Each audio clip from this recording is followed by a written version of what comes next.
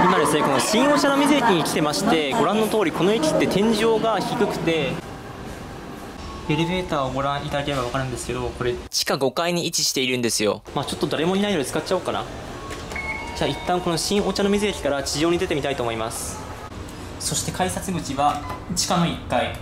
こんな感じで地下3階そして地下2階地下1階かな？エレベーターなので結構スムーズに来れましたが階段を使うとこんな感じで永遠と先が見えないぐらい深いです。そしてエスカレーターを降りた先もさらにもう1個エスカレーターがあります。これが地下5階の深さ。そして今地上に出てきまして向こうが千代田線の新お茶の水駅。そしてこっちが JR 線のお茶の水駅。そして向こうが丸の内線でおそらく丸の内線のお茶の水駅があっちの方にあるかと思います。そして向こうには発車していく中央線の各駅停車がありそしてご覧の通りこの標高を見ていただくと分かるんですけどこれ神田川があってで中央線は当然のように地上にあってで、まあ、丸の内線はこっちが多分淡路地方方面かな？淡路地方方面でこっちが御茶の水方面。しかしいずれも神田川の上にあって丸の内線は多分厳密に言うとこの辺りからは地下を走ってお茶の水駅も近い駅かと思うんですけどやっぱり浅いんですよね。それに対してじゃあどうしてあの千代田線の新お茶の水駅だけ地下5階にあるのかっていうことなんですけどこの理由はですね開業の順番を考えると分かるかと思います。調べますとこの中央本線が開業したのは1889年だそうです。そしてこの丸内線が開業したのは昭和29年1954年。それに対してこの新お茶の水駅が開業したのは1969年のことだそうです。言うまでもなくこの1889年時点ではこんな感じで神田川の上には何もなくて神田川の上に鉄道の駅を作るスペースが十分あったためこんな感じで中央線が開業しそしてその後、まあ、中央線はあるけどこの神田川を横切る分には問題ないかと思ってこの丸の内線を開業しおそらく多分1950年代は高度成長期の最初の方であんまり多分技術もなかったと思うんですよね。なのでまあ神田川の下に電車を掘るというよりかはやっぱりこの神田川よりも上に丸の内線を掘ってしまおうといった発想だったかと思います。しかし時は経ち1969年もう神田川の上には中央線と丸の内線がありこれ以上多分電車を通すスペースはないと判断したのかこの神田川の下に電車を作ったことから中央線は深くなったのではないかと思います。一般的にはですねこの神田川の下に電車を作るからといってものすごく深くなってしまうといったことは多分ないとは思うんですけどしかしこの神田川の地形をご覧いただければ分かる通りおそらくこの神田川って昔は多分この辺りは山の地形になっていてこの両側の山の間に流れるこの谷この谷に流れている川が神田川だったのではないかと思います。こんな感じで今は建物があって分かりにくいんですけど明らかにこの辺の地形を見ると分かるんですが上り勾配になってますよね。で、まあ、そんな山と山の間に流れる川が神田川であり大昔前おそらく江戸時代の頃からずっとこの神田川よりも高い位置に人々は暮らしていたのではないかと思います。実際にこの今立っている聖橋っていうのは関東大震災の復興の一つとして1927年に架けられた橋であってこの橋自体やはり千代田線や丸の内線よりも古いんですよね。なのでもう関東大震災以前もう戦時中から人々はこのお茶の水の辺りでは神田川よりもだいぶ上の辺りで暮らしていたのではないかと推測されます。当時はもう埋め立て技術とかあんまりそういったものはないんでね。そんな中で新しく地下鉄を通すとなった時この神田川の上には本当は通したかったんでしょうけどこれ以上上に電車を通すともう場所がないといった感じからこの新しく開業した東京メトロ千代田線は神田川の下に作られたためこの標高の低い神田川のさらに下ということになったのでものすごく深くなってしまったのではないかと思います地下5階って尋常じゃないぐらい深いですからね。多分新しい地下鉄は深くなりがちなんですけどなかなかね最近できた新しい地下鉄でも地下5階まで深いって言ったことはなかなかないと思います。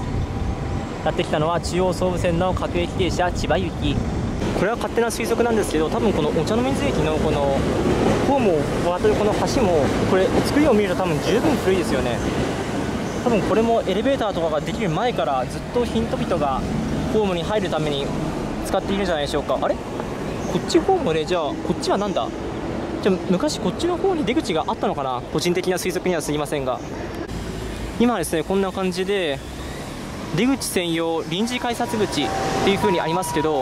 まあ、今は多分使えないようですがおそらくこの駅舎の構造からすると多分この出口が最も古くて昔のお茶の水駅は出口が下手したらここにしかなかったんじゃないかなと思います。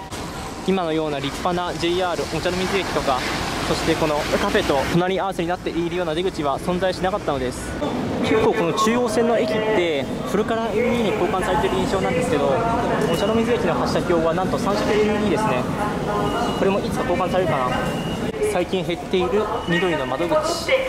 そして今度はお茶の水橋そして向こうに見えるのが JR 丸の内線じゃなくてあの東京メトロ丸の内線のお茶の水駅なんですけどこのお茶の水橋の歴史はさらに古くてこれは千代田区のホームページにあったんですけどこのお茶の水橋っていうのは神田川の人工渓谷地に明治24年1891年に初めて架けられた橋だったそうです。現在はこんな感じで結構綺麗にリニューアルされていますがおそらく昔はもっとボロかったと思います。ご覧の通り向こうの聖橋が1927年そして今いるこのお茶の水橋が1891年に架けられた橋であっておそらく大昔からこんな感じでこの神田川の標高っていうのは低く人々は神田川の上で生活していたっていう証拠の一つになるかと思います。なのでどうせ鉄道や地下鉄を通すならこの神田川よりも上に通してあんまりアップダウンをする必要がないようにするためかと思います。あとはまあ多分 JR 中央線とかができた当時はこの神田川の新谷にもう1個穴を掘って地下鉄を通すなんていう発想はなかったですからね。なのでまあそういった感じで JR 中央線は地上となり神田川の上そして丸の内線を掘る時も無理してこんな神田川の下に作るというよりかは神田川の上にもう1本、まあ、向こうの方にあるんですけど橋を通して作ってしまおうといった発想だったかと思います。なんかこれ船が来たな。この小さい船が大きいのを牽引していますね。話がそれましたがそして時が経った1969年本当は一度線を作る際に本当は多分もう1本列車を神田川の上に通したいけれどこれ以上神田川の上に通す余地はないと判断したため名の通り新お茶の水駅新しいお茶の水駅はこの神田川の下つまり相当深い渓谷の下である地下5階に作らざるを得なかったのではないかと思います。なのでまあこうして考えるとこの JR 線のお茶の水駅や丸の内線のお茶の水駅は結構浅くてそして中央線の新御茶ノ水駅は深いっていうのは納得ですよね。メインの理由はやはりこの神田川がここにあったっていうのが強いかと思います。じゃあ一応最後に言っときますとこんな感じで最もらしくこの神田川が原因だっていうふうにこの動画で言ってるんですけど実際この新お茶の水駅がどうして深いのかっていうのを、ね、ネットで調べたらあんまりそういった情報がなかったので僕の情報も間違っているかもしれません。その辺はご承知ください。本当にこの丸の内線のお茶の水駅から下に入るって言っても結局神田川がこの辺にあって多分あの高さがホームだと思うんですけど全然神田川の下ではないですもんね。というわけでご視聴ありがとうございました。これは余談なんですよ。多分この丸の内線のお茶の水駅も結構進化していて昔はおそらくこのホームドアも展示ブロックもなくてこの白線が目印だったんでしょうね。こんな感じで新しくなっていて時代の変化を感じます。